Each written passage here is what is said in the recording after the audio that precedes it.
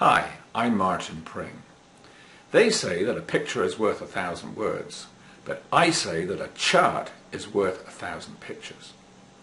And that's because charts in the financial markets often scream out very important messages that an important or significant trend reversal has taken place or is about to take place.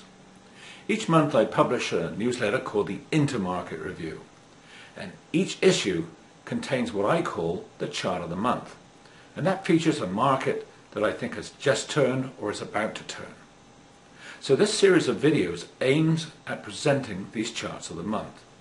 So if you're interested in them, please hit the subscribe button and you'll be brought up to speed on a regular basis. So without more ado, let's go to the chart room and see what's in store this month. Our chart of the month is a technical one but this issue, we are again looking at an economic series, specifically the unemployment rate, because there is a consensus developing that unemployment is going to peak sometime next year. With lots of economic data recently coming in higher than expectations, I say not so fast on this one. In the lower panel, I plotted an oscillator that divides the monthly non-farm payroll data by its 12-month moving average. Since payroll numbers move in the opposite direction to unemployment, I plotted it inversely. Now these green vertical lines flag peaks in the unemployment rate going back to the 1940s. Note that peaks in the non-farm oscillator coincided with those for unemployment in all situations up to 1990. Then in 1990 and 2002 there was quite a long lead time. This oscillator peaked a couple of months ago suggesting that we're now in the ballpark for an unemployment peak. But unfortunately, there's no way of ascertaining what the lag will be in the current cycle, even if there is one. However, we do know that the consensus is looking for a lengthy one, and that majority opinion is invariably wrong. We also know that when people are cognizant that something is likely to happen, they usually prepare for it ahead of time.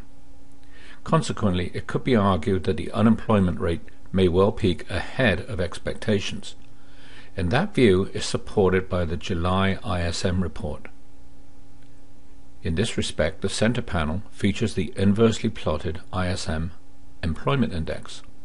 The green highlights on the unemployment plot in the upper window show that when the index is greater than 45, there's a tendency for the unemployment rate to peak.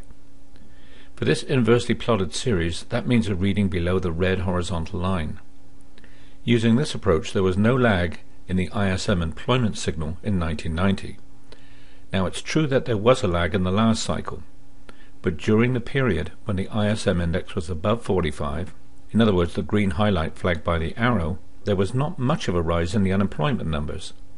Since the July ISM employment number at 45.6 was only slightly greater than the 45 benchmark, I may be pushing the argument a little bit, especially as temporary help Another leading employment indicator has not yet bottomed.